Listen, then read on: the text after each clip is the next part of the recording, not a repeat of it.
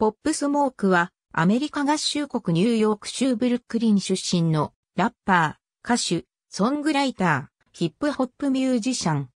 2019年の楽曲、Welcome to the Party のヒットで知られており、2010年代末のブルックリンドリルを代表するアーティストとして活躍した。2018年に音楽活動をスタートし、シカゴのドリルアーティストよりもミニマルでアグレッシブなサウンドを採用した UK のドリルアーティストやプロデューサーとのコラボレーションを多く行う。2019年4月に楽曲 Welcome to the Party がヒットし、 Republic Records と契約。7月にデビューミックステープ Meet the Woo をリリースする。収録曲の Dior は全米初登場22位を記録。2020年2月に2作目のミックステープ Meet the Woo 2をリリース、全米7位を記録する。このリリースから2週間後、ポップスモークは滞在中だったロサンゼルスで、家宅侵入してきた強盗から銃撃を受け、20歳で亡くなった。死後の2020年7月にデビューアルバム、 Shoot for the Stars、Aim for the Moon がリリースされ、ビルボード200で初登場1位を記録。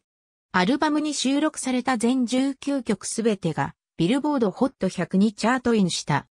デビューアルバムのロゴポップスモークは2018年に音楽キャリアをスタートさせ、ニューヨークのドリルシーンで人気の曲をリミックスするなどした後、オリジナル曲の制作に乗り出した。アーティスト名であるポップスモークはポッパとスモークを組み合わせたものである。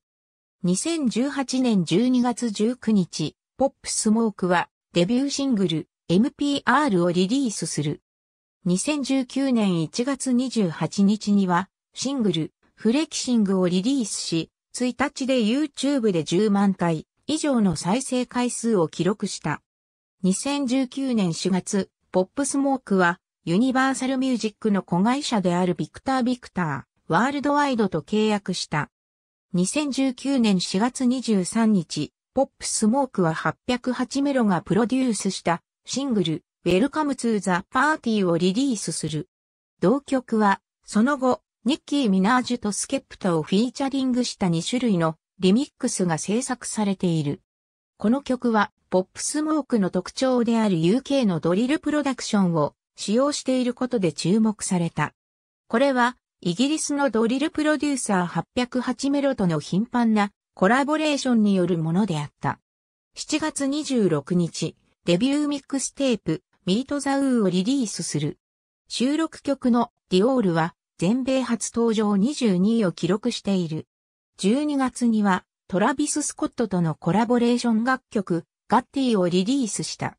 2020年2月7日、2枚目のミックステープ Meet the Woo 2をリリースする。ミックステープはビルボード200で7位を記録した。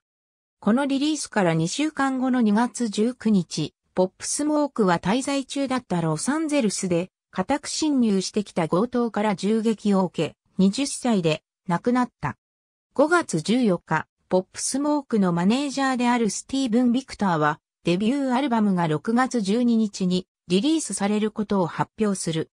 しかし、発売日は、ジョージ・フロイドの抗議活動に敬意を払うため、延期された。7月3日、デビューアルバム、 Shoot for the Stars、Aim for the Moon がリリースされ、ビルボード200で初登場1位を記録。カナダ、イギリス、オーストラリアなどでも1位を記録し、世界的なヒットとなった。ビルボードホット100ではアルバムに収録された全19曲がすべてチャートインを果たした。2020年2月19日、ポップスモークは滞在先のカリフォルニア州ロサンゼルスハリウッドヒルズの住宅で強盗に家宅侵入され2発の銃撃を受けて死亡した。捜査当局によると、2月19日の午前4時30分頃、フードをかぶった4人の男が自宅に侵入。そのうちの1人はスキーマスクを着用し、拳銃を所持していた。警察は通報で自宅侵入の知らせを受け6分後に現場に到着し、ポップスモークが複数の重曹を追っているのを発見した。彼はシダーズ災内医療センターに運ばれたが、そこで死亡が確認された。2月21日、ロサンゼルス軍検視官は、ポップスモークの死因は胴体への銃撃であることを明らかにしている。その後、ポップスモークは、ブルックリンのグリーンウッド墓地に埋葬された。7月10日、ポップスモークの殺害に関与したとして5人が逮捕された。19歳、18歳、17歳、15歳の男4人は殺人容疑で起訴され、5人目の21歳の男は殺人未遂で起訴された。スタジオアルバム。ありがとうございます。